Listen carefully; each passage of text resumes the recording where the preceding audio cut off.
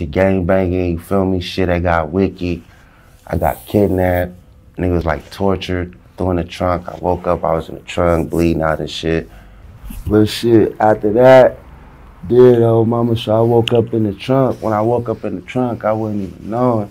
You feel me? Like you look the shit up on internet and shit. That's what this shit from right here. You got shot in the head. It's one of the things, if you look at it, I can show you. It went through the back right here. That's where they shot me. You got shot in the forehead. No, I got shot in the back of the head. You got shot in the back. head, and it came out. That's why I got a plate in the front. Went through your brain? In the back. Yeah. You know the splinters, the the centerpiece, that little split shit, where your brain is in parts or whatever. The different When the hemisphere. dude, yeah, that's it. When the dude fired a bullet, it split. So basically, the shit being old, it saved my life. So I wouldn't wouldn't really call it a misfire, but you know anything about guns and ammunition, like every once in a round, like with a 223 or 227, the bullet is split when you flip, like piece of it come off.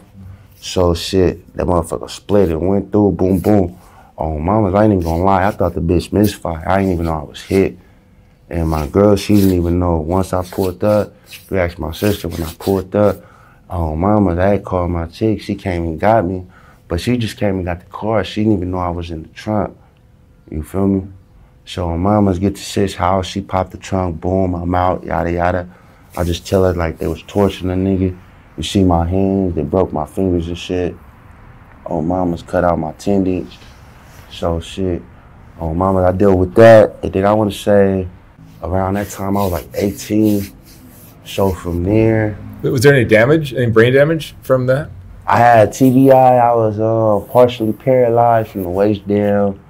I had a uh, catheter. They wanted to give me a uh, shit bag, but I, I couldn't because uh, I guess when the dude hit me down here, one of the blades, the shit it tore my. Uh, is it the lower intestines or the big intestines that you shit with?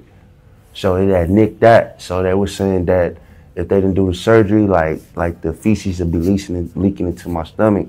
But what they did was they went in there, sewed it, and like still to this day, like I want to say for like the, I want to say for like the first year, I couldn't eat like no hard foods. Oh, oh, I thought that was an earbuds. I couldn't eat no hard foods. So like for the first year, I was eating oatmeal. I couldn't eat no peanut butter, and I could barely eat oatmeal. But like anything that'd get me constipated or make me push, I couldn't eat because that should tear my insides up. So like to this day, I got a big ass like, you know, like the sterile sponges and the packing, like all around my intestines. They got it locked in and sewed up in there. So like it won't move or bust because the shit still fucked to this day.